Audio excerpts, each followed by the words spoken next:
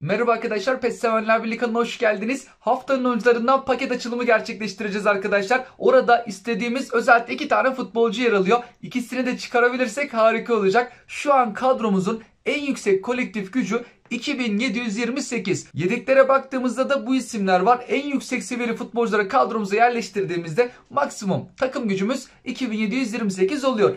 Pakete baktığımızda Player of the Week paketine benim stoperlerimden daha yüksek seviyeli Delit orada yer almakta. Özellikle pakette en yüksek seviyeli olan futbolcuyu çıkarmaya çalışacağız.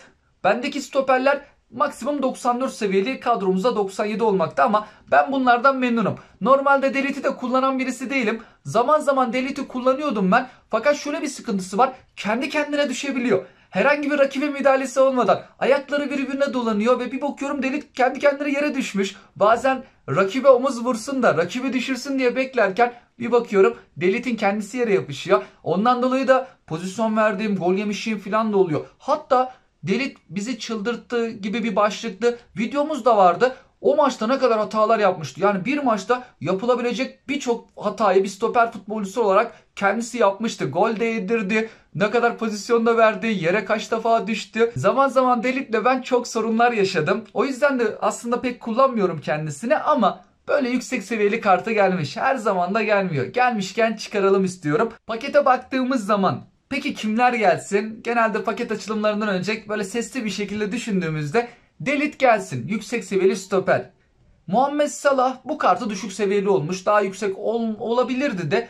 Normal kartından şimdi ne farkı kaldı ki bu kartının? Fakat burada Diaby var.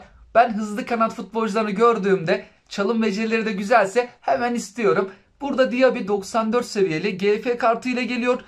GF yani gizli forvette sağ açıkta ve sol açıkta en yüksek haliyle oynayabilmekte. Önemli de özellikleri var aslında. Çok hızlı. Top sürme özellikleri de çok iyi. 93. Pasları da 78-76. Bitiriciliği yüksek değil. 77. Falsosu 80. Hız değeri, hız hızlanması çok iyi. 90-93. Benim sevdiğim kanat oyuncuları hızlı oyuncular olmakta. Dayanıklılığı da 80. Dengesi 90. Çift vuruş becerisi var. Benim en çok kullandığım e, çalım becerisi. Diğer becerileri de bu şekilde. Delit gelsin. Diaby gelsin. Bu iki tanesini çok istiyorum. Gelirse harika olur. Bunun dışında Otavio gelirse ofansif orta sahada kullanırım kendisini. Çok hızlı bir kanat futbolcusu değil. Ben hızlı kanatları kullanıyorum. Hız değeri çok yüksek değildi kendisinin. Baktığımızda 79-81. Ama diğer özellikleri güzel. Ben gelirse ofansif orta sahada kullanacağım için Otavio'nun da gelmesini isterim. Fakat şu aşağıdakiler bizden uzak dursun. Şu 91 seviyeli ve 90 seviyeli futbolcular olabildiğince çıkmaması lazım. Yukarı taraflardan inşallah çıkarırız.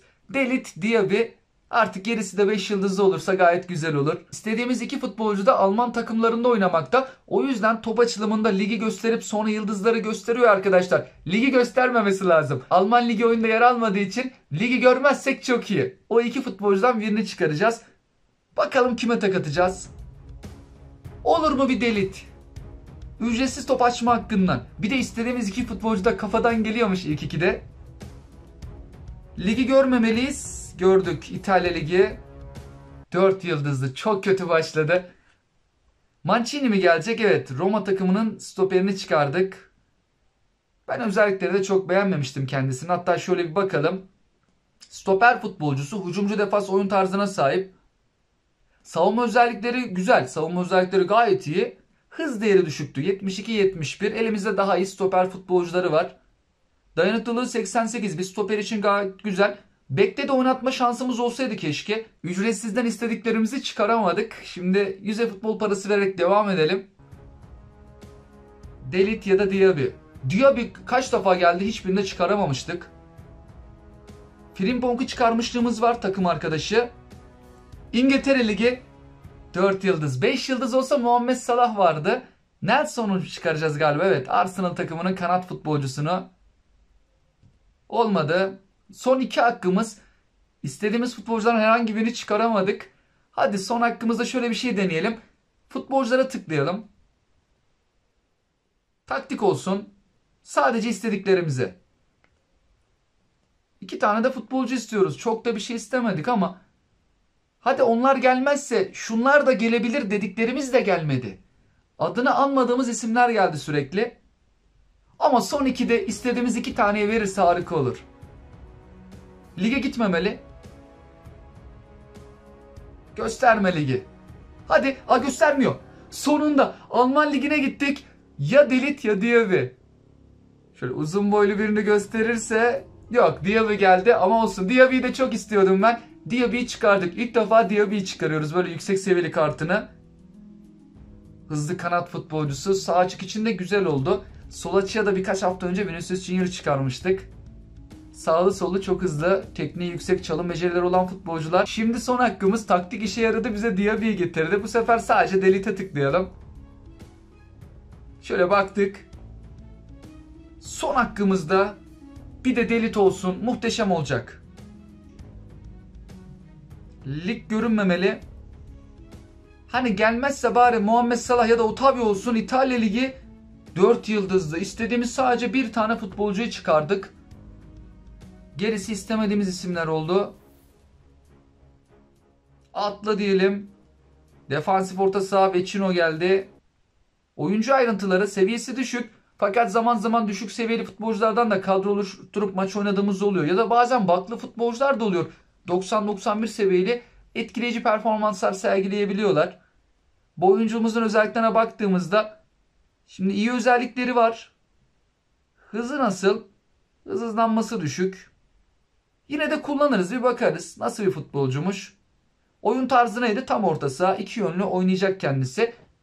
Delit'i çıkaramadık. Artık bir daha ne zaman gelir bilinmez Delit. Gelen futbolcuları bir kadromuza yerleştirsek. Kadromuzdaki hallerine bakalım. Alınma sırası. Pazartesi günü de Dybala'yı çıkarmıştık. Hatta onu da kadromuza alalım. En son transferlerimiz. Defansif orta sahaya çekelim.